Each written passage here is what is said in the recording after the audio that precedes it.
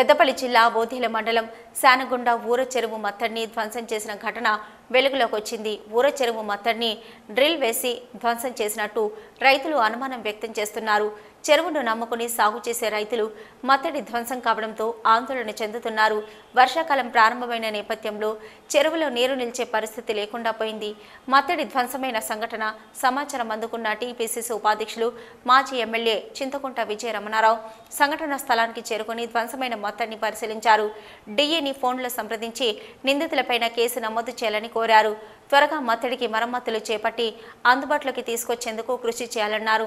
ఈ సందర్భంగా విజయ రమణారావు మాట్లాడుతూ మత్తడి ధ్వంసం కావడంతో రైతులకు తీవ్ర నష్టం జరుగుతుందని అధికారులు వెంటనే మత్తడి మరమ్మతులు చేయించి రైతులను ఆదుకోవాలన్నారు.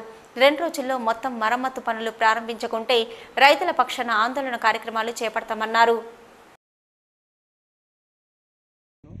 మాది శానగొండ విలేజ్.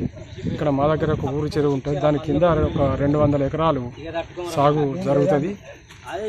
తర్వాత ఏంది? అక్కడ మూడు వందల మంది రైతులు ఉన్నారు. గత సంవత్సరం గత మూడు నెలల క్రితం ఇటు ఏది మత్తడి తీస్తే దాని దానికి సంబంధించినట్టు మత్తడికి నీళ్ళు ఉంటే వాళ్ళకి కొన్ని పొలాలు మునుగుతానే ఉద్దేశంతో వాళ్ళు కలెక్టర్ గారికి కూడా వాళ్ళ మీద ఇప్పుడు అది మాకు ఎంతో భూగర్భ జలాలు కూడా అడగంటే పరిస్థితి ఉన్నది కాబట్టి వాళ్ళ మీద చర్య తీసుకోవాలని మేము కోరుతాను ఊరి తరపున అందరూ. ఊర్లో కనీసానికి ఐదు వందల మంది వచ్చారు ఇప్పుడు. రెండే రెండు వందల ఎకరాలు నష్టం జరుగుతుంది పోదాటి మనోహర్ రావును. ఇది ఊర చెరువు. ఇది కావాలని మీద రైతులు అనేటోళ్ళు దీన్ని బ్లాస్టింగ్ చేసిరు ఎవరు చేయలేదు ఇది. వాళ్ళు ఇప్పటి వరకు లోగడ పోతే కలెక్టర్ కంప్లైంట్ చేసిర్రు. మత్తడి తీయాలని వాళ్ళు. వాళ్ళు అప్పుడు కలెక్టర్ పోతే పట్టించుకోలేదు మత్తడి తీసుడు కరెక్ట్ కాదు ఇది.